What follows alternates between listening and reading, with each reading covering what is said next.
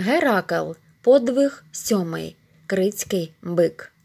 Цього разу на вимогу царя Еврістея Гераклові довелося податися до криту. Великий той острів був благословений богами. Колись саме тут богиня Рея, дружина могутнього Кроноса, народила Зевса, а потім переховувала немовля, підвісивши його колиско серед гілля розлогого дерева, щоб Кронос не знайшов свого сина ні на землі, ні на морі, ні в небі. А згодом сюди, до ще безлюдного пустельного криту, приплив сніжно-білий бик, на широкій спині якого сиділа юна фінікійська царівна Європа. І тим прекрасним биком був сам Зевс, а ім'ям його коханої згодом назвали частину світу. Тут, на Криті, Європа народила Зевсові трьох синів гордого Міноса, справедливого Радаманта та войовничого Сарпедона. Між братами не було щирої згоди, і коли всю владу на острові забрав до рук Мінос, Радамант утік од нього в Беотію, а Сарпедон до Лікії. За Міноса острів збагатів і розцвів. Здавалося, багатство плавом пливе сюди звідусіль. На Криті виросли гарні міста, а найбільшим, найбагатшим серед них став Кнос, де жив цар Мінос, і де згодом за його наказом славетний будівничий дедал звів палац Лабіринт. Міносова влада з кожним роком міцніла. Уже гордий цар не хотів визнавати її меж. Уже він надумав змагатися навіть із богами.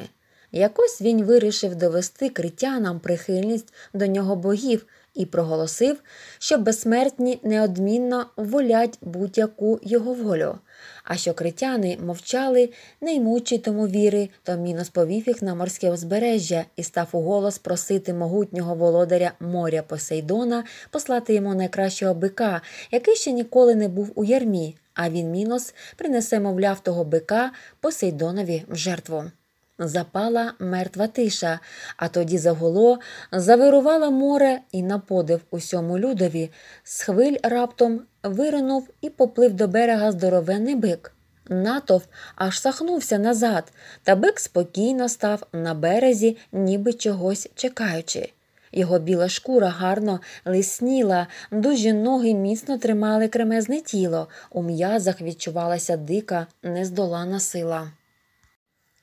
Посейдонів бик так припав до вподоби Міносові, що той звелів мерщій відвести його до царського стада, а в жертву морському богу зарізати іншого звичайного бика.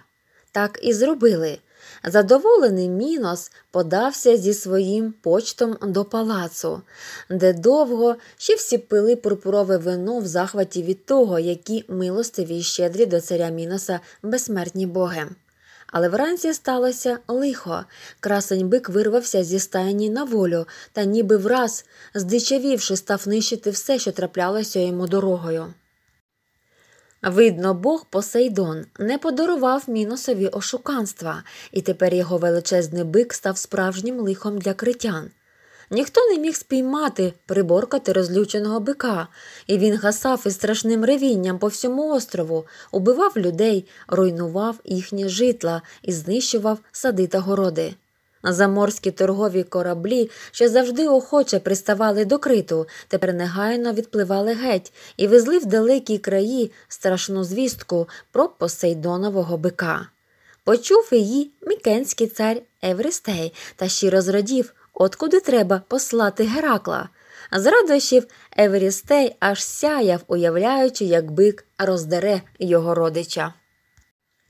Коли Геракл прибув на Крит, жителі острова зустріли його шанобливо, бо вже чули про незвичайні подвиги героя.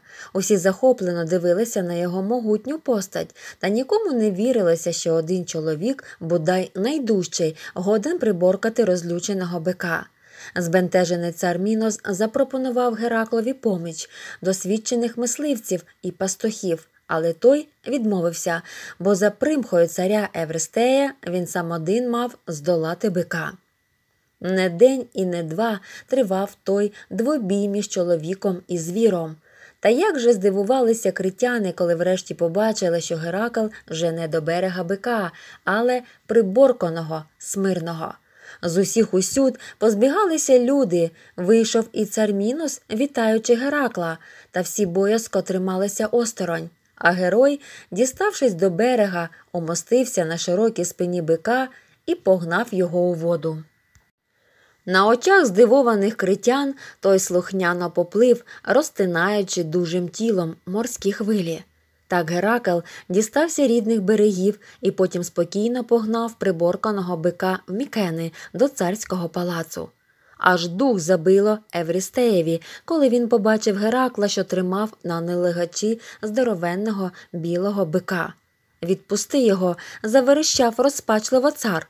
Відпусти тобі, кажуть, я присвячу його моїй покровительці Гері. Не встиг Евристей доказати, як красень бик, відчувши, що Геракл попустив налигач, ураз крутнувся і помчав геть із Мікен.